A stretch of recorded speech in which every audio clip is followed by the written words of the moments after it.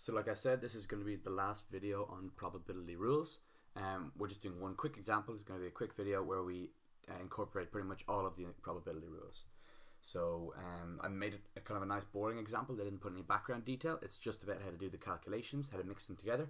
Um, and once you know how to do this, you can apply it to a question with say more detail and more words. Uh, but this is just the basics. So there are two events, A and B. The probability of A is 0.6, the probability of B is 0.4, and they tell us that the two events are independent. They want us to find P of A intersect B, P of A union B, and P of A given B. Okay, three different um, three different calculations.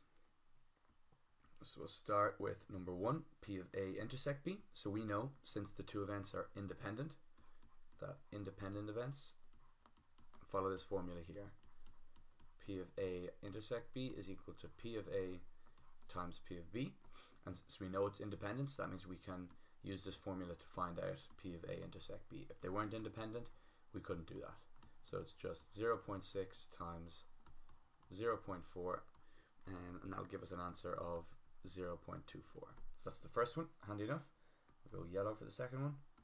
Um, P of A union B. So this is the first probability rule, the union probability. P of A union B is equal to P of A plus P of B minus P of A union B.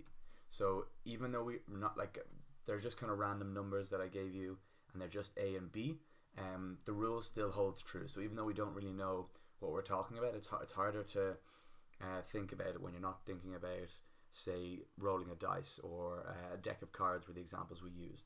But the the point I'm trying to make is that the formula still makes sense. You can still use it. So 0 0.6 plus 0 0.4 minus 0 0.24 um, and that'll give us an answer of 0 0.76.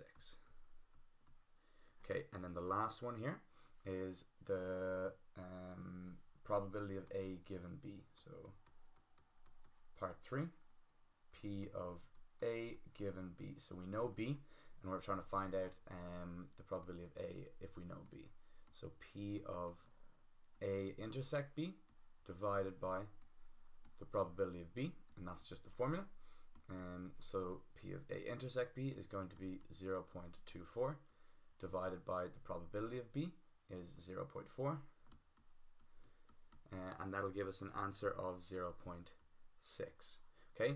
So that's interesting. The probability of A happening if we know that B has already happened is 0.6 and that's the exact same as the original probability of A. And so the reason behind that is because the events are independent.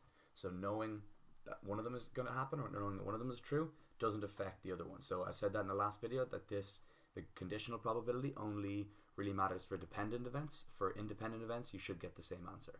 Um, so they could ask you to, I guess, explain that in an exam. So just that's what kind of I went through it.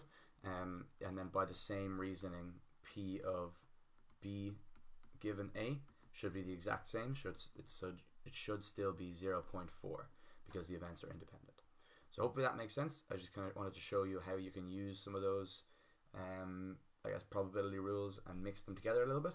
Uh, that's it for probability rules. In the next video, we're going to look at tree diagrams. So we'll see you then. And if you liked the video, then don't forget to like and subscribe and share the video with your friends. Thanks.